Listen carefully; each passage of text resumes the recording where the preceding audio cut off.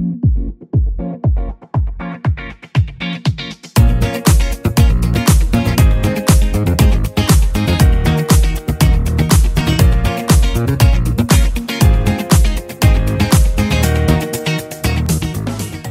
guys, this is John here with Forward Talk. We have a brand new brand new episode uh, for you where we are in collaboration with the Kingdom Link podcast.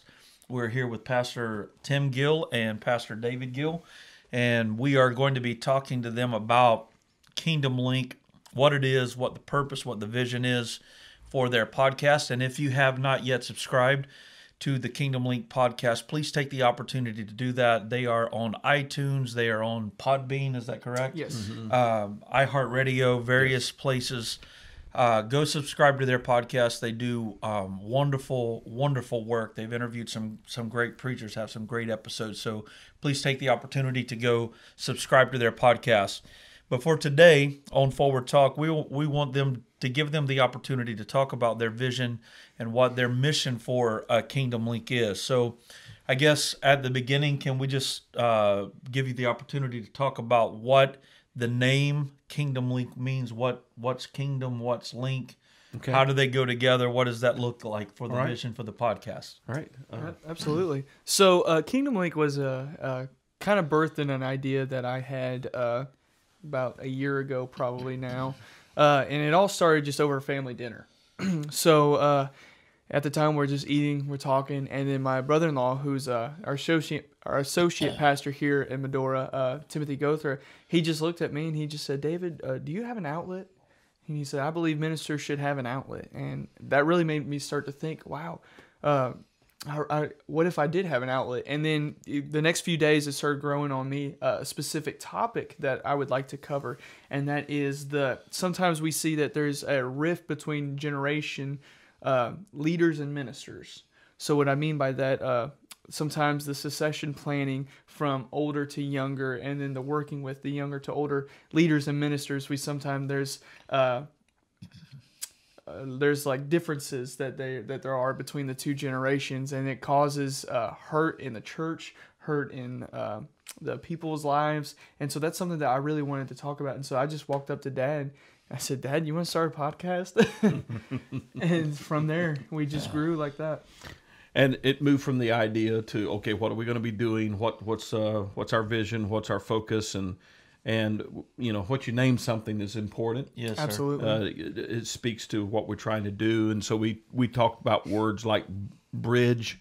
You know, we want to bridge the gap, but that's really not what what we were. T- that speaks of separation. Yeah. uh, that has a, an artificial thing uh, connecting it, mm, which is okay. Yeah. We, we often use that. We're going to bridge the gap between generations, but the concept is is link uh, because a link like a chain. If you have a missing link, you can't do work right. That's right. If there's a missing link between the older generation and the younger generation, then all of a sudden the ability to be effective is lost.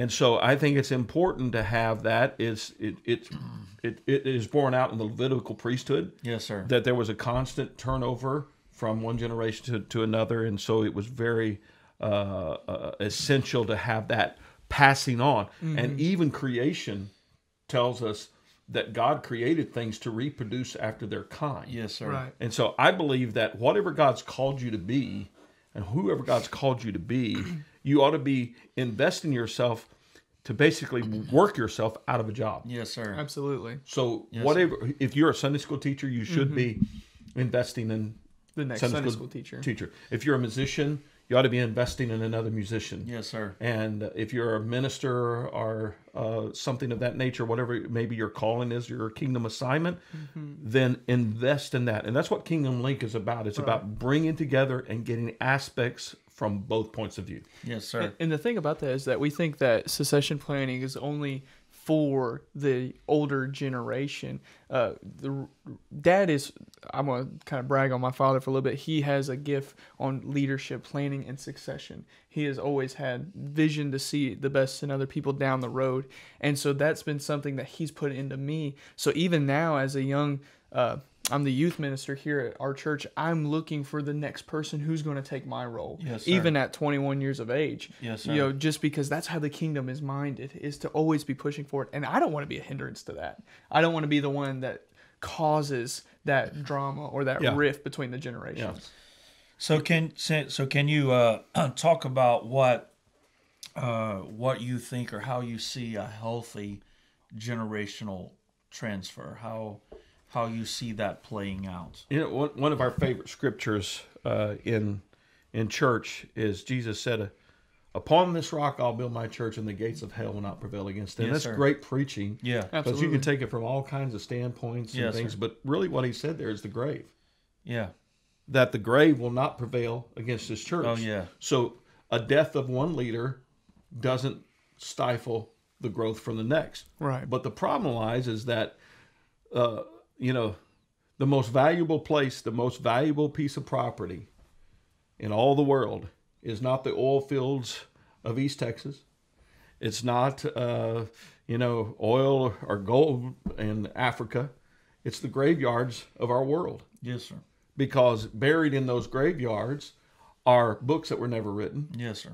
leaders that never passed on their knowledge. They went to their grave with their baton in their hand. Absolutely. And and to me, if you do not pass your baton on in in ministry, then your leadership dies with you. Your vision dies with you. Right. Your your passion dies with you. And so I think it's very important that uh, we we we set ourselves up because there are things that like like in the case of those ministers that I work with here, David and uh, the other pastoral staff that we're working with, is that I want to empty everything that I have into them. Yes, sir. You know, uh, we've go, gone away, and um, David mentioned about uh, Timothy Gother. He's our associate pastor. He's a fantastic preacher. Absolutely. And so we would be gone, and I come back, and people would be bragging about, man, what a great service we had. Pastor Timothy did an amazing job. And I look at him, I say, You're welcome. Yeah, yeah. You're welcome. Yes, sir. Because to me, I take that not as a uh, uh, uh, a statement that should hurt me, But as a personal compliment. but as a compliment. yes, sir. because I want every person that God puts in my path to lead to excel. Yes, I want to set them up to win. Yes, sir. That doesn't mean I'm always giving them flowery advice, Some that's, that's But- tugging on the coattail. but I do think that it's very uh, important to pass on uh, what we have. Don't let it die with you. yes, sir. No. And so I'm going to kind of combine that uh, generational transfer uh, concept with the pastoral transfer concept. So as a as an elder as an elder leader pastor, what um, what is it that you expect to to uh, be passed down to the next generation for you to feel comfortable with the next generation leading forward? So as you started out talking um, that sometimes there is conflict, sometimes there's a rift between one generation to Yes. the next. So, I guess the question that I want to want to ask is, uh, from your perspective as the the elder that's going to be passing leadership, that's going to be transferring. I don't know who the next pastor is going to be. I don't even know if you guys know, but whoever that is, that that you shift the pastoral leadership of the church to what is it that they need to to have believe preach think that is going to make you comfortable releasing that leadership into their their hands? And what are some things that uh, from your perspective would cause that tension and conflict to be in place with the next generation? Well, I think it begins with the the elder. Where is his identity? If his identity is in the pulpit where he pastors, yes sir. then when he leaves that pulpit, yeah he's seen his identity Gone. gone. He no longer feels like his ministry matters. But what has happened is that pastors have made their pastoral ministry their complete identity, and they don't have any kind of a way of thinking beyond that yes sir to to okay i'm going to position myself let me let me use uh, uh, uh, bishop walls who pastored here for 30 years and here at the home church and so when we came in i ran from that for eight years he had encouraged me to come but i ran from it eight years and took took I need to go through some process of maturing. And uh, but when when I finally obeyed God and obeyed my pastor, and I came here, he already had things in place. He's an author. He's a does radio broadcasts. He does missions work. He has he's a very active in ministry still to this day at the age of 83. Yes, he's sir. very active in ministry. It may not be pulpit ministry Yes, or pastoral ministry, but if your identity it starts with the elder getting making sure that his planning is about where's my next? Yes. Right. Where's my next when the time comes for me to step down from this pulpit, where is my next assignment Yes, going sir. to be?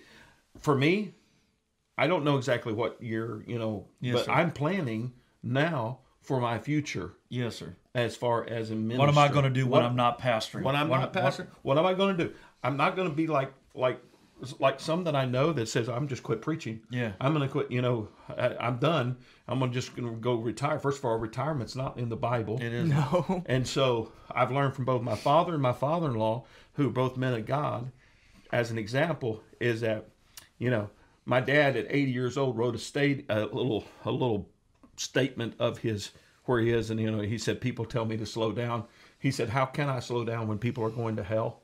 You know, at 80 Just years as old. fast as they've ever gone. Yeah, and, and so he he also had uh, the uh, a ministry, though he wasn't a pastor. We've narrowed it down that if you're not a pastor, you're not in That's ministry. right. There's a Right. whole There's a whole spectrum world. of ministry. Absolutely. And, uh, and and you know part of it is is when like you said we pastors tend to see their identity in the pulpit mm-hmm. Yeah. but if they could come to see their identity in their spiritual sons Amen. when their Right. spiritual sons Yeah. start taking taking the leadership role and taking the kingdom forward Yes. they still see themselves as doing it Absolutely. and that's that's a very a very jewish jewish concept a, a, a man never dies Right. Mm-hmm. Abraham, Isaac, Jacob. Jacob becomes uh, Israel. Right. Israel is still alive right now today. Right. Israel's just alive in Right. his sons, Right. in his children, in his offspring. Absolutely. Well, you you ask what what as an elder, what would I start looking for in a, a young man? Paul put it like this. It's one of the most powerful statements. He said, "I'm sending to you Timothy, my son in the gospel." Yes, sir. wasn't even related to him. Yeah. But he said, "Is my son." Yes. I believe that there is a critical relationship that every man of God needs to have in his life, and that is a father-son relationship Yes, sir.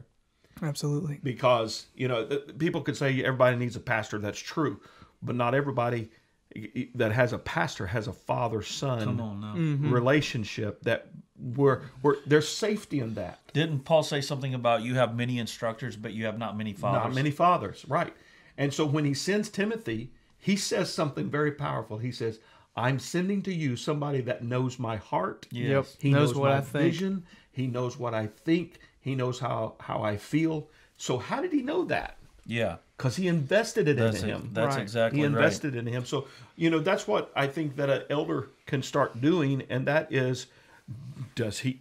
First of all, is he, if he's not investing in that uh, leader coming up, then don't expect them to keep your vision going. That's right. And if you're not investing in them, you're certainly not going to trust them. yeah, If you haven't invested in them. exactly. And sometimes that's where I think the conflict happens is the pastor doesn't trust his successor because he hasn't really invested Well, in his successor. take David for instance. God said you can't build a temple. yeah. but I'm gonna let your son. If he was like a lot of guys today, well, you go root hard or die, as they used to say in Texas. Yeah. You go do it on yourself. I'm gonna, I'm gonna, you know, I had to, do, I had to iron everything out. That's I had right. to dig it out. So you go, no, that's not what he did. Uh-uh. He started gathering material. Yes, Mm-hmm. sir. He started gathering things. So what was he doing? He was investing Absolutely. in his son's That's right. success. Generational momentum, as has Right. been said. Right. Yeah. So um, the, the next question that I want to, to come to here, and uh, we're going to uh, hit these two questions, and one of them is going to be for you, Okay. and then the the last one is going to be for you. So, uh, Pastor Tim Gill, what is the most important thing that you want as a leader, as an elder, to co- to communicate to the next generation?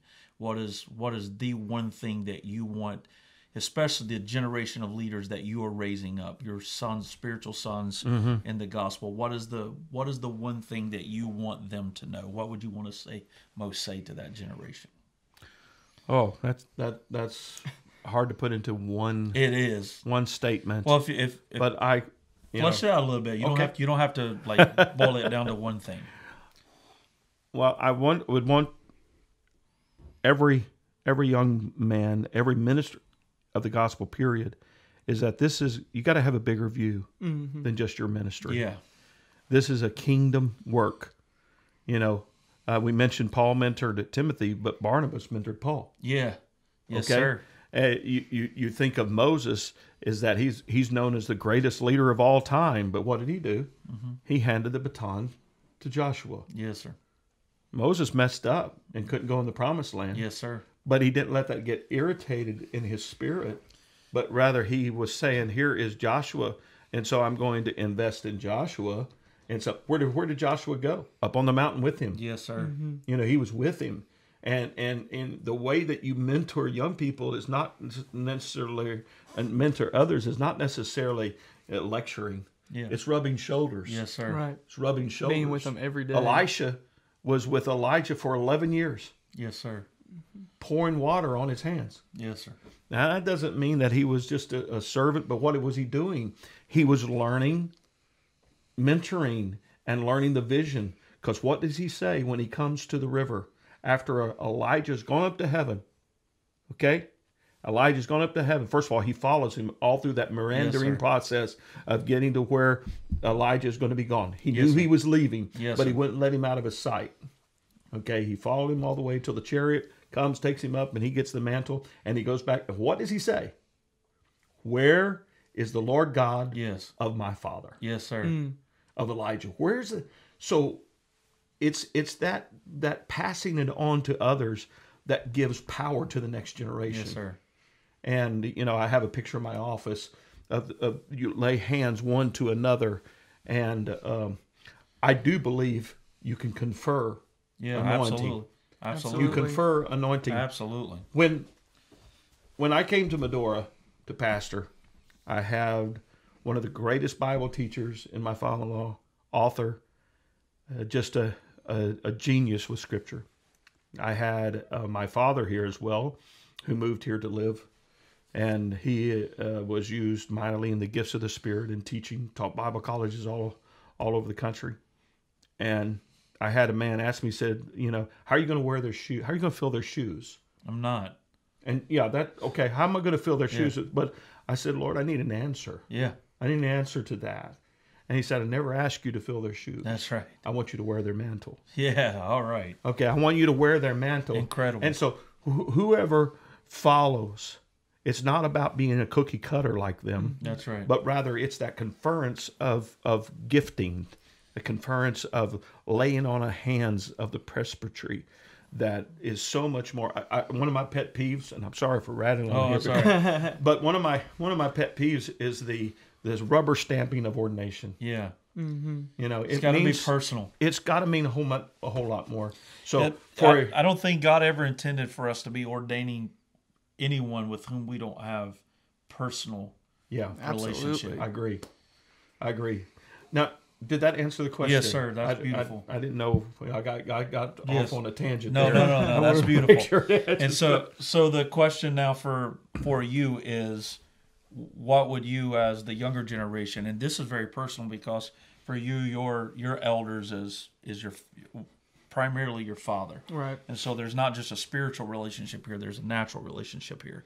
So, one of the questions, the question I would have is, what is the one thing or an important thing, a, a major thing that you would like to say to or ask of the previous generation? Well, I don't know if it's necessarily just one specific thing. I can maybe do two. Do too. That's that's fine. one is never stop investing in me. Yeah. no matter You got it. no matter how old I am. You know, I, I I can even see it with I'm speaking to you, Dad, in you and Papa. I never see Papa stop investing in you. No matter what, it doesn't matter your age, and that's one something I never want you to stop investing in. And that's the thing about this type of leadership, this type of kingdom link, Yeah. is that you will never stop being his father. No. absolutely. He will never stop being your son. So the thing that qualifies you to feed in his life is is always going to be there. If he's 70 and you're 90 or whatever that would look Right. like, you're still going to it's still going to be father son. It's, Right. it's that relationship. And so so number 1, never stop never stop investing in- Absolutely.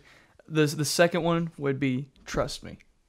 Mm. Trust me. Oh man, this is so good. So Yeah. the reason being, you taught me, and it is my job to uphold that. Everything that you taught me, everything that you told me, Right. let me. I will do my job. I will. su- I will plan for the next generation. I will do everything that you have taught me, and I will do everything that I've read in the Word good. of God, and move on so that the next generation can do the same. And I think that has a lot to do with the, the releasing of. Uh, we're in this kind of shift right now here at the church, and uh, um, we're, I'm trying to back away and do the things that only I can do, yes, sir. so that other men, our other leaders, can do Yes, sir. those tasks.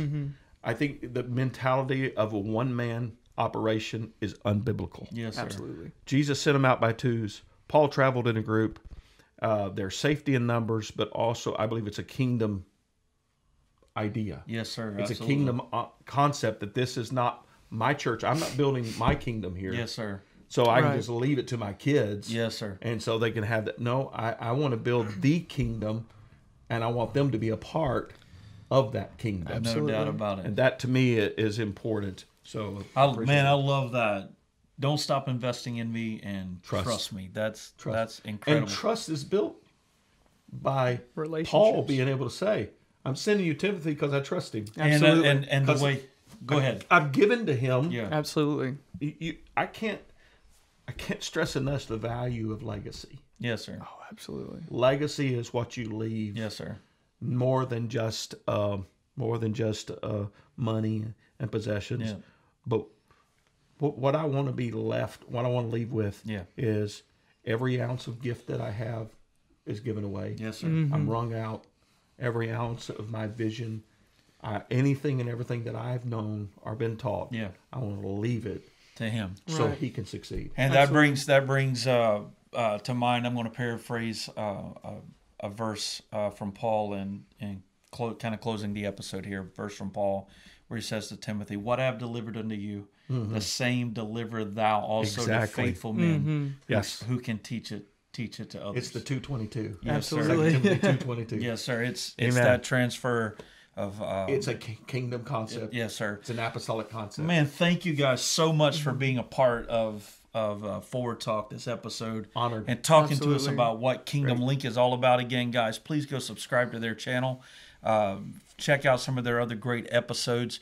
Hey, do me a favor, Pastor Tim Gill, close out this episode of, of Forward Talk with that tagline that you always close out your Kingdom Link podcast with. That's awesome. Well, at Kingdom Link, we always end with this this, this line, and that leadership only matters when it is passed on.